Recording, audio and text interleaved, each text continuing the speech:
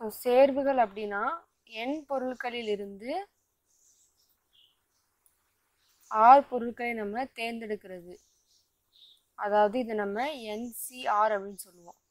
இதுக்கு முன்னாடி நம்ம பார்த்துருக்கோம் என்பிஆர் அதாவது n factorial by n minus r factorial இப்போ என்சிஆர் ஃபார்முலா வந்து n factorial by r factorial n minus r factorial இப்போ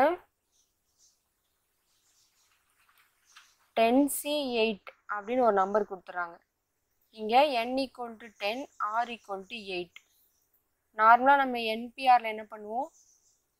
Ten P eight equal to ten factorial by ten minus eight factorial எழுதுவோம். அதாவது ten factorial by two factorial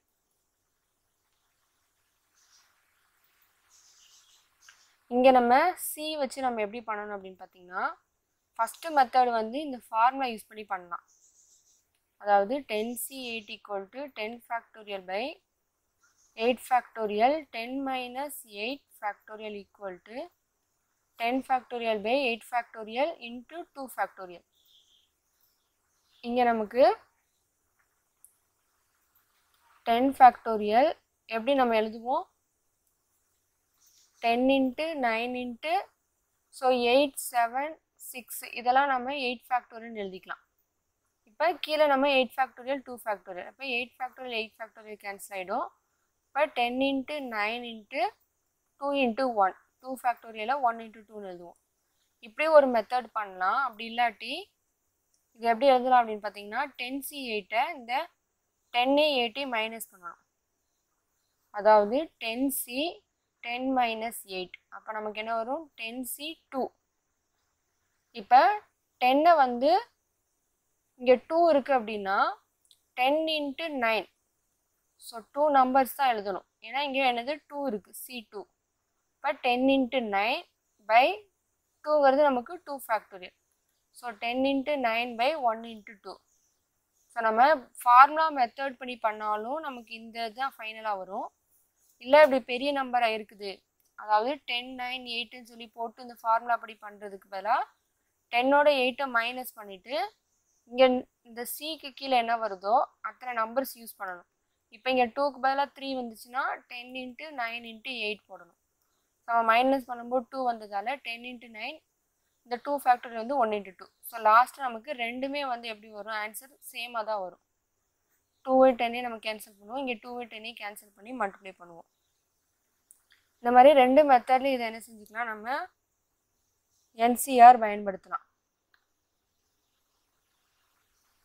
இப்போ N C R இப்போ நார்மலாக நம்ம என் factorial என்ன பார்த்துருக்கோம்? N into n minus one n minus two n minus three இந்த மாதிரி பார்த்துருக்கோம். ஸோ அதாவது n into n minus one factorial போட்டுக்கலாம்.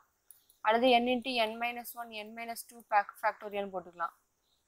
இந்த என்சிஆருக்கு வந்து பார்த்தீங்கன்னா ஸோ ஜீரோ ஃபேக்டோரியல் நம்ம என்ன பார்த்துருக்கோம் ஒன்றுன்னு பார்த்துருக்கோம் என்பிஆருக்கு சில பண்புகள் நம்ம பார்த்துருக்கோம் இதே மாதிரி இது வந்து என்சிஆருக்குரிய பண்புகள். இதில் வந்து நம்ம இந்த ஃபோர்த் ஒன் வந்து எடுத்துக்காட்டு சம்மில் யூஸ் பண்ணுவோம்.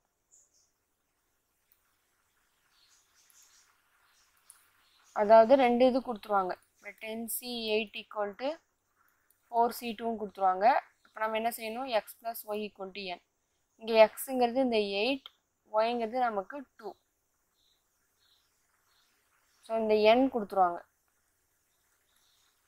என் என்ன கண்டுபிடிக்கணும்னு சொல்லி கேட்கும் பொழுது நம்ம இந்த x plus y equal to n இப்போ எக்ஸ் வந்து எயிட் ஒய் வந்து டூ இப்போ டென் ஈக்குவல் டு என் இப்போ என் வந்து நமக்கு என்னது? டென் ஸோ இங்கேயும் டென் வரும் இங்கேயும் டென் வரும். இதுக்கு தான் இந்த ஃபோர்த் ஒன் வந்து நம்ம யூஸ் பண்ணுவோம். இதே மாதிரி இந்த செவன்த் ஒன்றும் நம்ம ஒரு எடுத்துக்காட்டு சம்மில் யூஸ் பண்ணுவோம். NCr equal to nPr by r factorial எப்படி வந்தது அப்படின்னா நமக்கு என்பிஆர்னா என்னது? N factorial by n minus r factorial என்சிஆரில் நமக்கு என்ன இருக்குது எக்ஸ்ட்ரா ஒரு ஆர் ஃபேக்டோரியல் மட்டும்தான் இருக்குது இந்த ஆர் ஃபேக்டோரியலை வந்து நம்ம இப்போ one by r factorial into n factorial by n minus r factorial எழுதுனோம்னா இது ஃபுல்லாக நமக்கு என்னது? என்பிஆர் அப்போ இதை நம்ம எப்படி எழுதலாம்? One by r factorial into nPr equal to அப்போ என்ன வரும்? என்பிஆர் பை ஆர் ஃபேக்டோரியல் இதுதான் வந்து என்ன கொடுத்துருக்காங்க. இங்கே என்பிஆர் பை ஆர் ஃபேக்டோரியல்னு செவன்த் ஒனில் கொடுத்துருக்காங்க. இப்போ நம்ம எடுத்துக்காட்டு டூ பாயிண்ட் ஒன் ஃபைவ்ல five P three so P வந்ததால் இது நமக்கு என்னது? NPr n factorial by n minus r factorial.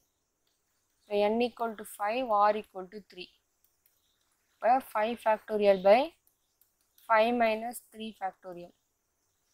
So 5 factorial by 2 factorial. அப்போ இங்கே என்ன வரும் 5 into 4 into 3 into 2 factorial எழுதிக்கலாம் ஏன்னா 2 into 1 வரும் இதை நம்ம 2 factorial போட்டுக்கலாம் ஸோ 2 factorial 2 factorial கேன்சல் ஆகிடும் இப்போ five into four into three so ஃபைனலாக நமக்கு சிக்ஸ்டி ஸோ அடுத்து கொடுத்துருக்காங்க P of eight comma five நம்ம ஏற்கனவே பார்த்துருக்கோம் P of n comma r so அந்த மெத்தடு படி இதை நம்ம n equal to eight r equal to five அப்போ nPr equal to n factorial by n minus r factorial so eight factorial by eight minus five factorial அப்போ eight factorial by three factorial so eight into seven into six into five into four into இதை three factorial எழுதிக்கணும். So three factorial three factorial cancel ஆகிடும் நமக்கு eight seven six five four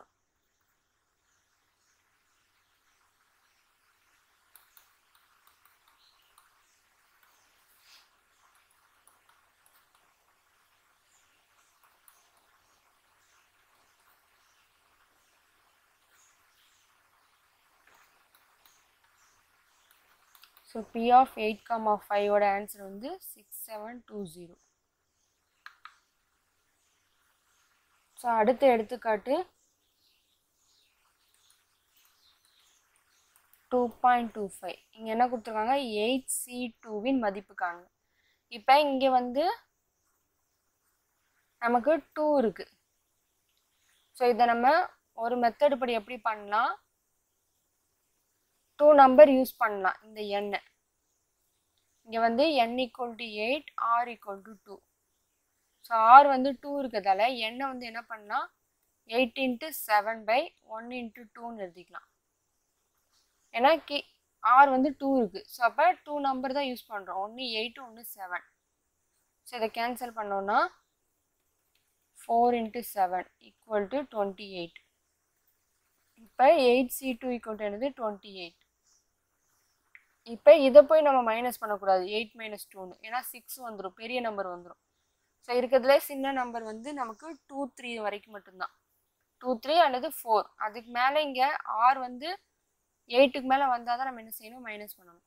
இப்போ இதை formula அப்படி பண்ணோம்னா nCr equal to n factorial by r factorial n minus r factorial so eight factorial by two factorial eight minus two factorial இப்போ eight factorial by two factorial into six factorial இப்போ eight into seven into six factorial by two factorial six factorial so eight into seven by one into two equal to twenty eight so அப்படி பண்ணாலும் twenty eight நமக்கு வரும். இதெல்லாம் இப்படி ஷார்ட்டாக பண்ணுறது நமக்கு டைம் சேவ் ஆகும். இல்லாட்டி நம்ம இவ்வளோ லென்த்தாக என்ன செய்யணும்? பண்ணணும். இந்த ஆர் என்ன கொடுத்துருக்காங்களோ அதை வச்சு நம்ம என்ன வந்து எத்தனை நம்பர்ஸ் எழுதணும் அப்படிங்கிறதுக்கு இந்த ஆர் நமக்கு யூஸ் ஆகும். ஸோ நெக்ஸ்ட்டு எக்ஸாம்பிள் சம் வந்து nC four equal to nC six எனில் டுவெல் சி எண்ணின் மதிப்பு காண்க. இதோடைய மதிப்பு வேணும்னா நம்ம அந்த சி எண்ணா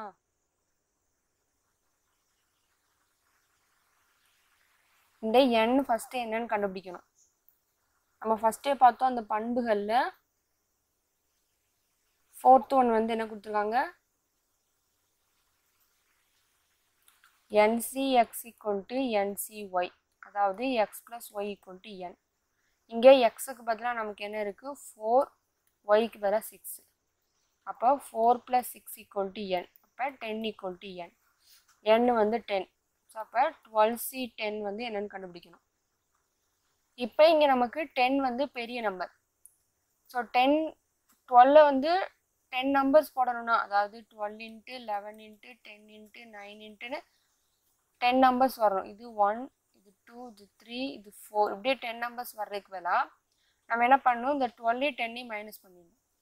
அதாவது twelve C twelve minus ten equal to twelve C two so minus பண்ணால் டூ இப்போ நமக்கு இங்கே என்ன இருக்குது டூ அப்போ டுவெல்ல வந்து என்ன பண்ணலாம்? Twelve into eleven so two number use பண்ணணும். இன்ட்டு டூ ஃபேக்டோரியல்னால் ஒன் இன்ட்டு டூ இந்த டூ வந்து இங்கே நமக்கு ஃபேக்டோரியலாக மாறிடும். இப்போ நம்ம கேன்சல் பண்ணோம்னா சிக்ஸ்டி சிக்ஸ் இதே இதை நம்ம அந்த ஃபார்முலா யூஸ் பண்ணி பண்ணலாம். NCr equal to n factorial formula use பண்ணி பண்ணாலும் சிக்ஸ்டி சிக்ஸ் வரும்.